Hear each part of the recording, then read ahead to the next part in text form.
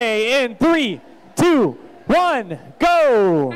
Match 56 here at the Mishawaka District event is underway. We open with 1555 Cryofrost successfully docking on their Alliance's station. 3176 Purple Precision will attempt to balance and will almost do so in time for teleoperated period. With the students now controlling the robots, let's take a look at 9119. The rookie is currently attempting to grab a cone in midfield to score it for the Reliance. Over in the red lo loading zone, it's Munster Horsepower, showing how they earned that name by speeding across the field in order to get back to their community and form a link as quickly as possible. For the Blue Alliance, 2867 Elk Logics heading over to the other side of the field, attempting to grab pre-placed cones.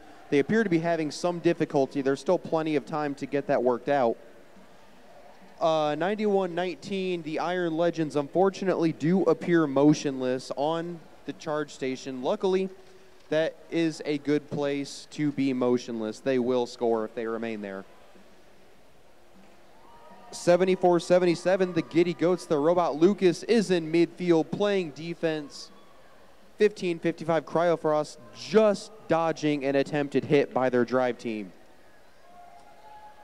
Back on the blue side of the field, 28-67, the Elk Logic doing all of it can. The Blue Alliance is one robot down, still managing to successfully score multiple game pieces in their grid. 46 seconds left. You're looking at a score 67-16. Currently a dominant performance by the Red Alliance. The endgame points on the table would theoretically be enough to change that.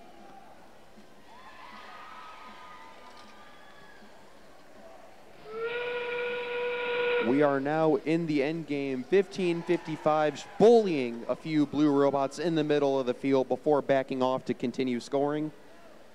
We'll see what the Blue Alliance elects to do with one motionless robot on their charging station. Will they attempt to fit three? Who knows? Over on the red side of the field, the Giddy Goats, along with their alliance partners Purple Precision, will successfully engage with four, three, two, one. That will be the end of the match. We had an exciting one. The Red Alliance put on a show. We'll see how it scored.